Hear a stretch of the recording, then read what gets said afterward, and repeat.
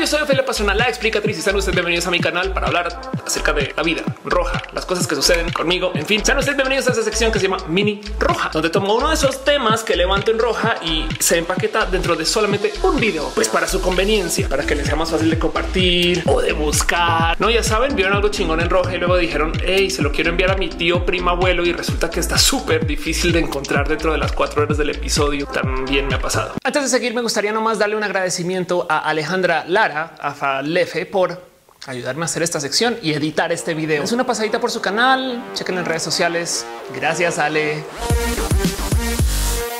Hoy quisiera hablar de un tema mientras podemos. Lo digo porque si bien la comunicación de ahorita depende del habla, que es básicamente el hacer el esfuerzo muscular para empujar moléculas de un medio que suele ser aire para que luego la otra persona tenga que interpretar según lo que escucha o que también depende del escribir y leer, que básicamente es el modificar algún otro medio con algún dispositivo, como lo podría ser una pluma que modifica el papel. Entonces otra persona luego tiene que leer eso, básicamente un proceso similar al del habla, solamente que en este caso las cosas quedan guardadas como con más permanencia. Una computadora Ahora, por ejemplo, básicamente lo que está haciendo es que está guardando lo que nosotros queremos comunicar, que luego básicamente algún modo estándar se tiene que interpretar, como podría ser usando una lectura o algún interpretador que lo vuelve de algún formato que lo podamos leer. Hoy quiero hablar justo de un nuevo modo de comunicación que si bien ya medio sabemos que existe y le tenemos ganas desde hace mucho tiempo porque está en la fantasía y en la filosofía y en las ideas de humanos desde hace mucho tiempo, pues vamos a hablar acerca de la comunicación de cerebro a cerebro, que podría ser quizás la comunicación telepática. Y ya sé, ya sé lo que están pensando Ofelia, o sea, como me estás diciendo que eso es como la magia que tú puedes enviarle a la gente pensamientos y que automáticamente van a poder interpretar. Tráeme unos tacos y una chela, Logan. Algo así, solamente que todavía vamos a tener una computadora de por medio, quien se va a encargar de tomar lo que nosotros estamos generando en nuestra actividad cerebral, la va a poder empaquetar en algún sistema de transmisión estándar, como puede ser TCP/IP, pasar por el Internet, llegar a otro lado en cualquier lugar del mundo y luego a otra persona se le implantan esos pensamientos en su cerebro. Hablemos de este tema primero. Primero, para saber cómo llegamos acá, es que tenemos que tomar en consideración que esto se viene investigando desde hace mucho, mucho, mucho tiempo. Si lo piensan, cuando nosotros nos ponemos en una situación de generar cualquier esfuerzo de comunicación, tenemos que primero que todo interpretar lo que sea que estamos pensando para aterrizarlo luego en palabras según nuestro mismo dominio y uso de nuestro lenguaje que depende de cada quien. Por eso se dice que cuando aprendes un lenguaje nuevo, pues literal estás cambiando el cómo piensas. Y luego de cómo nosotros interpretamos esos lenguajes que aprendemos, tenemos que justo enviar esas señales a nuestros músculos para que se muevan de cierto modo, para que nuestra misma boca pueda comunicar las palabras y los sonidos como deberían. Ni hablar el mero tema de lo complejo que es poner las palabras en el orden específico para que comuniquen lo que más o menos queremos comunicar. Entonces, si lo piensan, estamos lidiando con una cantidad de pérdida de información, porque imaginémonos este escenario. El cerebro tiene toda una cantidad de información atrapada, digamos, en crudo, que tiene que pasar a través de un peine del lenguaje y la interpretación y la realidad y cómo la interpretamos para luego reducir eso al lenguaje como lo dominamos y después de eso que se comunique vía nuestras capacidades de comunicación para que pase por medio del aire para que le llegue a otra persona y depende de cómo vibre una cosita acá chiquita en su oreja. Pues entonces ahí van a escuchar un poco de lo que les llegó y sobre eso tener que interpretar toda esa información que les haya llegado según sus experiencias y su aprendizaje acerca del lenguaje. Claro. Y el el tema es que hay mucha gente que lleva investigando desde hace mucho tiempo cómo es que le enviamos información a las computadoras por fuera de usar el teclado y el mouse. Por ejemplo, en caso de que ustedes sean gamers, sabrán que existen dispositivos como el Kinect, que básicamente es una barra con varios sensores, una cámara, un sistema infrarrojo para poder como captar lo que sea que tú estás haciendo y se lo alimenta a la computadora. Entonces tú no le tienes que dictar ni decir ni ingresar la información, sino solamente que con tu movimiento natural la computadora te está sintiendo. Y entonces levantas información y se la ingresa al videojuego. Pero luego están experimentos como este de Daito Manabe, quien es es un artista japonés que lleva haciendo todo este tipo de, como trabajo de performance digital desde hace mucho tiempo, quien desde hace 10 años está investigando el cómo hacer para que la computadora te pueda devolver información a tu cuerpo. Entiendas lo que él busca es poner como electrodos en los cuerpos de la gente y que luego la computadora pueda hacer que la gente se mueva como si fueran marionetas de la compu.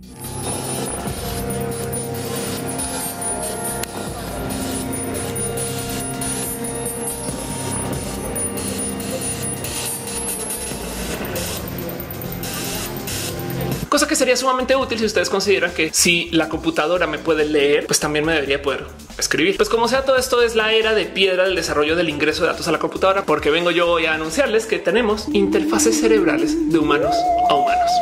Se llama telepatía asistida por tecnología, donde básicamente lo que haces es que no solo lees el movimiento neuronal dentro de los cerebros de varias personas usando varios sensores por medio de esto, las meras descargas eléctricas que está generando en cada sección del cerebro, sino que luego intentas replicar eso en el cerebro de otra persona. Y resulta que para algunos casos, en algunas situaciones, el mero transferir ese tipo de movimientos en zonas muy marcadas logra que la gente tenga como una suerte de conexión con alguna información que no se generó nativamente en su cerebro. Por ejemplo, en este caso vemos un experimento que comprueba que esto se puede hacer por medio de jugar un videojuego a través del cerebro de otra persona. La mitad del videojuego está enfrente de la pantalla de una persona y la solución está enfrente de la pantalla de la otra persona, pero para poderlo solucionar necesitas la información original y esa solamente se está enviando vía esa conexión neuronal. Claro, ¿no? Ahora, antes de que se alarmen de que los científicos de hoy están haciendo cosas espectacularmente nuevas, hay que considerar que esta tecnología existe desde hace por lo menos hace unos 100 años. Son los electroencefalogramas. De hecho, se usan para una cantidad de aplicaciones, pero en este caso en particular para este experimento lo que se intentó fue escribirle al cerebro de alguien y oh sorpresa resulta que se puede.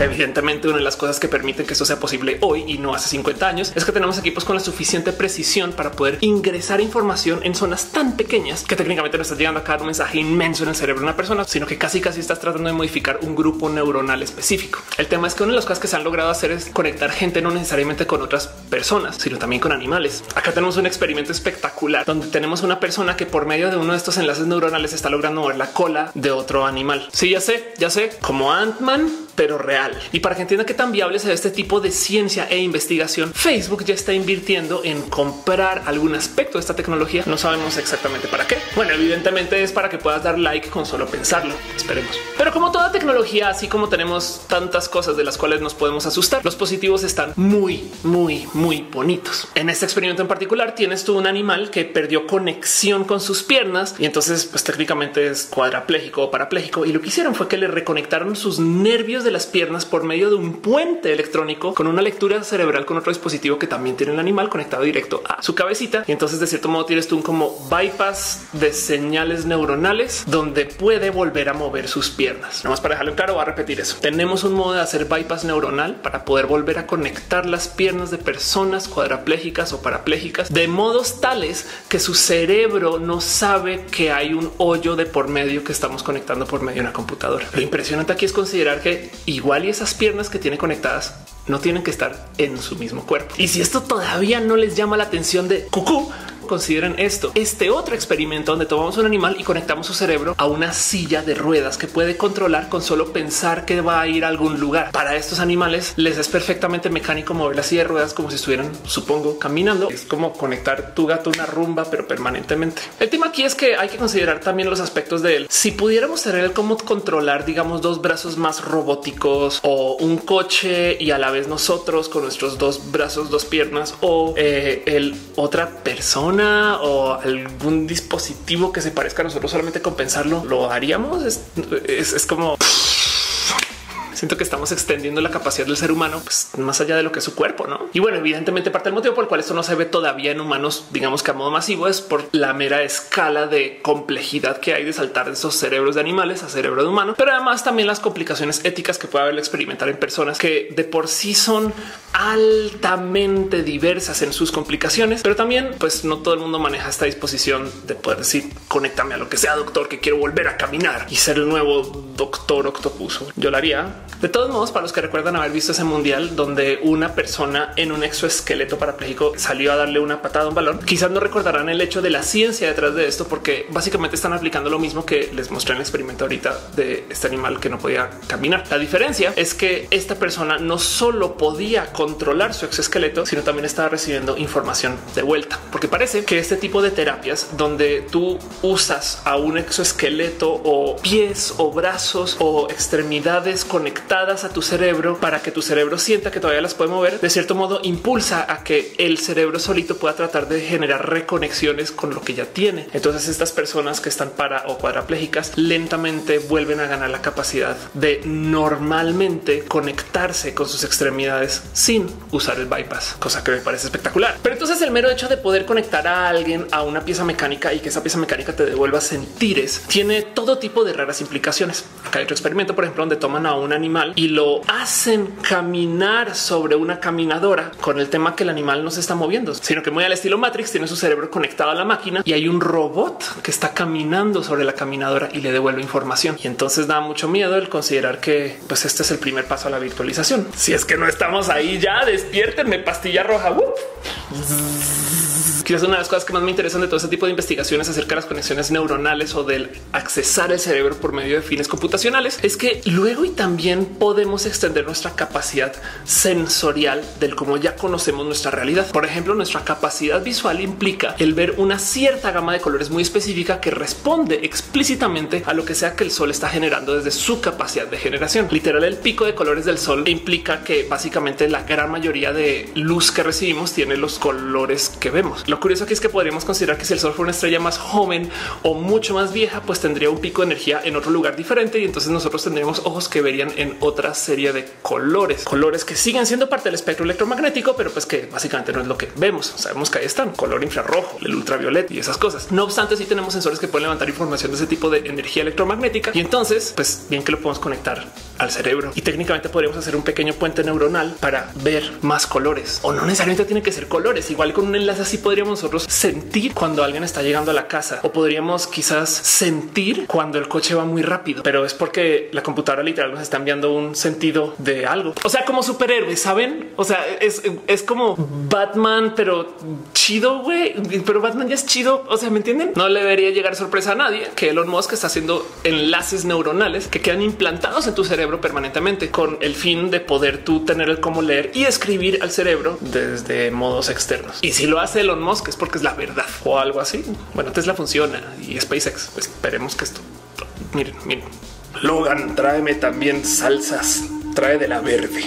Y por si hay pura chance, todavía no los tengo muertos del susto y pensando qué va a ser de nuestro futuro cuando la gente ya ni siquiera tenga que usar un teclado para ingresar información y escribir, sino que simplemente tenga que pensar en las cosas y de puro chance todo el mundo te pueda leer la cabeza o algo así si te hackean. Consideren que esto ya existe de varios modos hoy en esquemas del pensar que ni siquiera hemos considerado que valdría la pena leer. Por ejemplo, les comparto este video en particular donde unos científicos están investigando el tipo de actividad neuronal que se genera cuando tú sueñas o generas imágenes por medio de la mera interpretación de imágenes de la cabeza o del cerebro, ideas. O sea, me explico lo que está pasando. le estamos mostrando imágenes específicas a una persona y luego estamos leyendo lo que su cerebro interpreta esas imágenes y tratando de reconstruir de nuevo la imagen a base de su actividad cerebral. Quiero que nos regocijemos en lo preciso que es la reconstrucción de la imagen por medio del literal solamente escanear el cerebro a alguien, donde esto se pone raro y nuevo. Innovador es considerar que esto también se puede hacer cuando alguien está soñando. Lo cual quiere decir que técnicamente tenemos la tecnología para leerle los sueños a las personas. Claro, de lejos el experimento exitoso que más miedo me da de toda esta línea de investigación es este experimento donde logran atar el cerebro de dos ratas específicas en lugares diferentes donde a una se le enseña algo,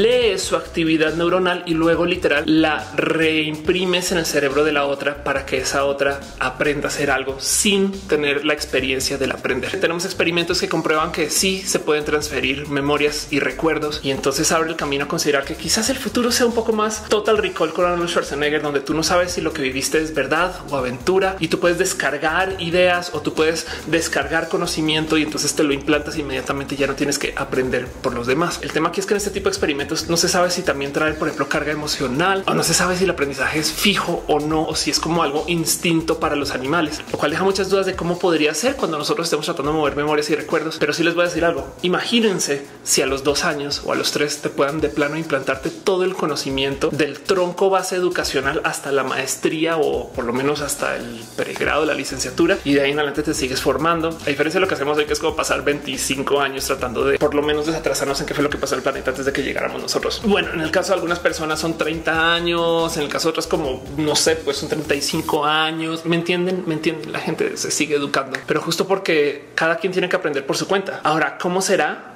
Si algún día de repente te despiertas y te dicen no es que ese recuerdo que tú tienes de haber ido a las Bahamas, pues no es un recuerdo tuyo, es un recuerdo que yo compré y te regalé, como en Total Recall. ¡Ah, Ahora de nuevo, en caso de que estén ahorita atados a la silla en pánico pensando, wow, cómo vamos a destrozar la humanidad con esta tecnología, con esta cantidad de cosas nuevas, Black Mirror, alert en todos lados. Solo les quiero recordar que hay mucho de esto que ya tenemos, solamente que no funciona tan rápido. Si bien no tenemos enlaces neuronales funcionales para poder platicar con ustedes acerca de las cosas, y entonces yo tengo que hablar, hablar en la cámara, grabar, editar, publicar. Ustedes luego tienen que interpretar lo que sea que ven. Y si todavía no lo entienden, pueden volver a ver o ir a Wikipedia. De todos modos, ya tenemos tecnología de transferencia de información, muchas. O si lo quieren ver de cierto modo, el envío de mensajes por WhatsApp es una forma de telepatía, solamente que toca teclear en el teléfono y entonces esperar que tu mamá le dé unos buenos seis minutos a tecleando para que de repente te diga, ok, no solo es mi mamá la que hace eso, no, no.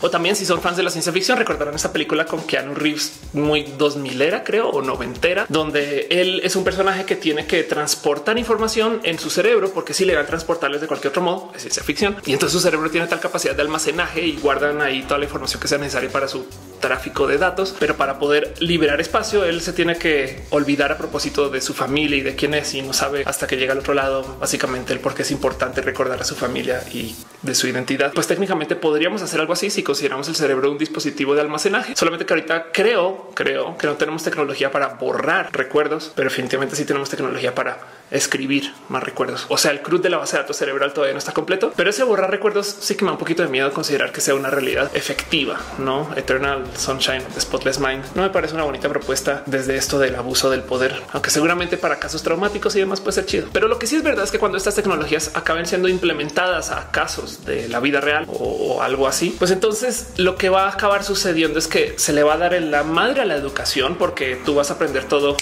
así como saber kung fu y también capaz si se le da en la madre el lenguaje, porque esa comunicación de cerebro a cerebro no pasa por el peine del lenguaje. Y entonces es posible que si tengamos una suerte de unión humana con el cómo pensamos, por lo menos la gran mayoría de personas, desde nuestro cerebro para que nos podamos comunicar entre A y B sin tener que hacer uso de las palabras. Me queda la duda de cómo sería esto en el caso de la gente neurodivergente. Me parece hasta interesante de considerar. Pero miren, donde sí se puede poner muy interesante todo esto es considerar que con esta tecnología también se le podría dar en la madre al concepto del viaje, porque ahora en vez de tener que enviar humanos hasta Marte, tú simplemente envías una sonda que tenga sensores varios para que cumplan con, digamos, los mínimos del sentido del ser humano, no tacto, olfato, visión, etc. Y esa sonda, entonces luego la conectas con una persona que esa persona siente que está allá, que suena raro, pero capaz si eso es más barato para poder colonizar el resto del sistema solar que literal seguir enviando cuerpos que es tan caro y difícil y pues si tú puedes sentir que estás allá, es raro, pero no sé. Quizás un ejemplo más cercano sería ir al Super Bowl por medio de alguien que te vende el servicio de sentir que estás allá, una como super realidad virtual. Y la verdad es que son solamente camaritas que tienen sensores múltiples para que tú puedas oler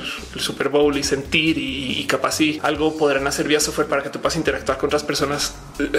Pero le van la madre al viaje. El caso es que le van la madre al viaje y va a ser bien cool. Desde lo personal, si ahora ya tenemos esta tecnología para poder transferir recuerdos y memorias y vivencias y sentires y estas cosas que nos alejan de los demás porque no estuvimos ahí, siento yo que puede ser un paso para que ojalá potencialmente en el futuro, cuando eso se aplique, pues vamos vivir de modos tantito más empáticos, porque una cosa es que leamos un libro de alguien que estuvo en una situación compleja, horrible o muy bonita y muy feliz y digamos que al leerlo nos da un poquito de ah, eso no pasó. Y en este caso sí pasarlo. Y entonces sí sentir el miedo de alguien que no pudo cruzar una calle porque sintió por su vida o si sentir la alegría de una abuela viendo a su nieto nacer o algo así. Saben como que siento yo que esta es otra de estas tecnologías que nos va a unir más como al consciente colectivo general y capaz si sirve para el bien. No obstante, como toda tecnología, pues tiene sus esquinas de miedo y horror y terror y podríamos considerar que capaz y se crea un nuevo modo de tortura donde tú podrías traumas a la gente en su cerebro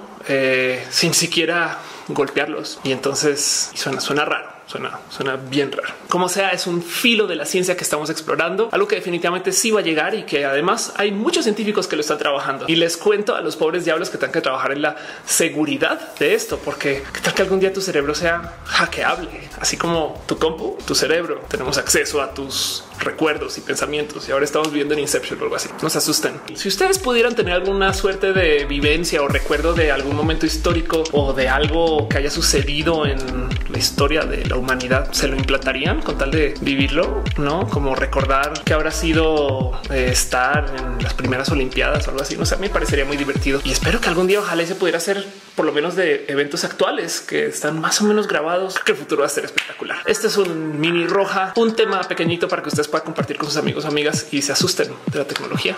Y pues sí que no se les olvide que este video fue editado por Alejandra Lara. Chequen en redes sociales, vayan a su canal de YouTube. Hace cosas muy bonitas. Gracias, Ale. Los quiero mucho. Dejen sus comentarios que le ven a todo esto. Mm.